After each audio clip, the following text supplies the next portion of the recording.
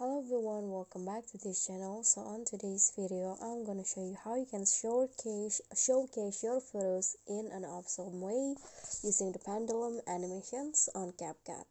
So first, you need to add uh, photos to CapCut. I add about 15 photos like this and then adjust the durations of each photo. You can actually adjust it uh, how you like, but if you want, you can also add audio and then adjust the duration with the beats of the audio. And after that you can just go to format uh, or ratio and change it into 16 by 9 click on the check icon and then rotate each uh, each photos like this.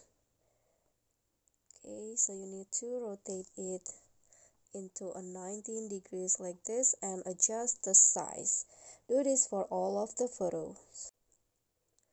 Okay after you uh, rotate all photos like this uh, apply animation for all photos.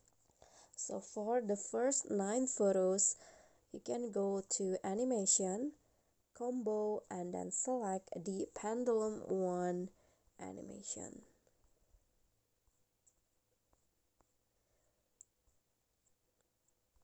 okay this ones right here. Apply it for all of the photos uh all the first nine photos. So just apply it like this. Okay i've already applied pendulum one to the first nine photos. And for the last six of them you can just go to animation combo and find the zoom left animation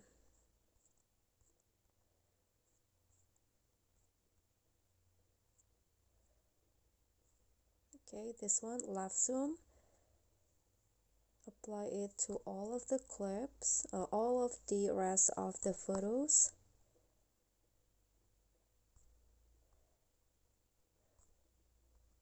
And after that click on the check icon. Then you can just export the video.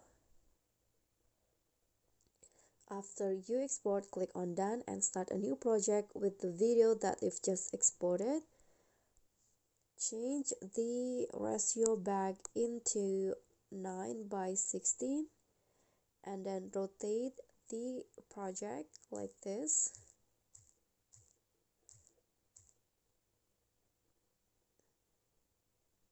Okay rotate and fit the size. After that here is the final result.